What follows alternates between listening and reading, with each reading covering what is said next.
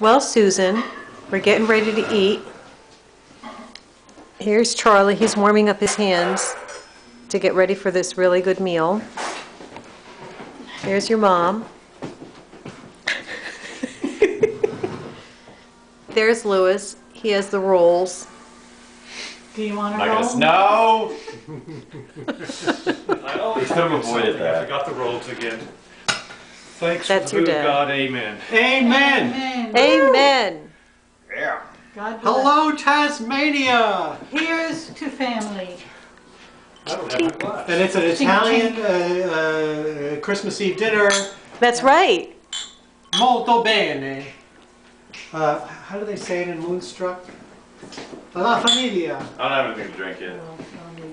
Clink, clink. Clink. Okay, Louis, would you bring some